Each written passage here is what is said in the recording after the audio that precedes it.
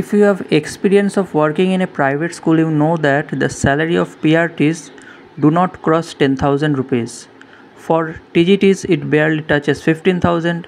and for PGTs, it's 20,000. Now it may vary by plus minus 5000 or in some place 10,000 from place to place, but this is the standard everywhere in India.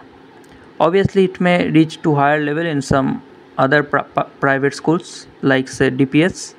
but uh, roughly for most of the private schools 20000 to 30000 is the highest a pgt can expect.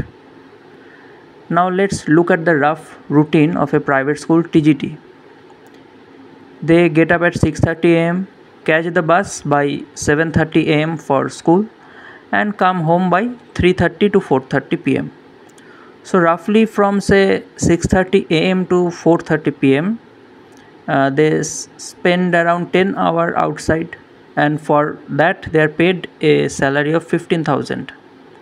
and this is obviously less than a government sweeper or even a laborer. This is the sad reality of a private school teacher